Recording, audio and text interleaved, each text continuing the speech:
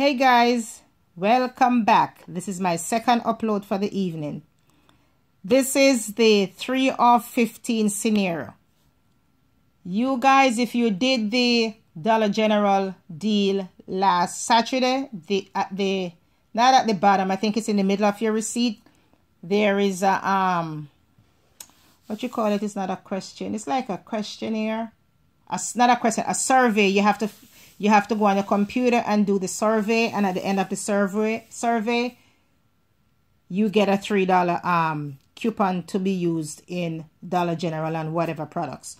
Okay so this is my scenario for the three of 15 you're gonna pick up a gain or a a gain fling or a tide pod for 450 which is a 16 count.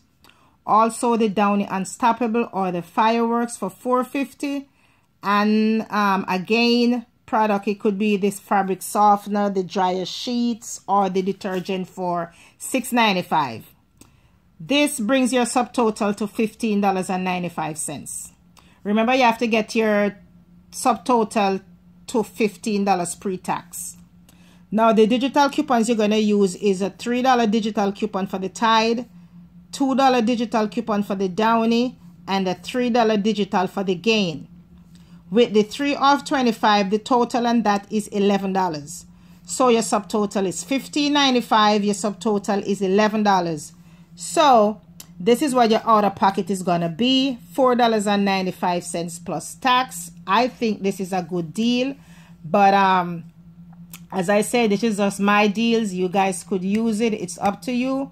But if you decide to do this deal, good luck. And um, I'll be posting my video once I once I go into Dollar General tomorrow. So take care, guys. Have a good night. Bye-bye.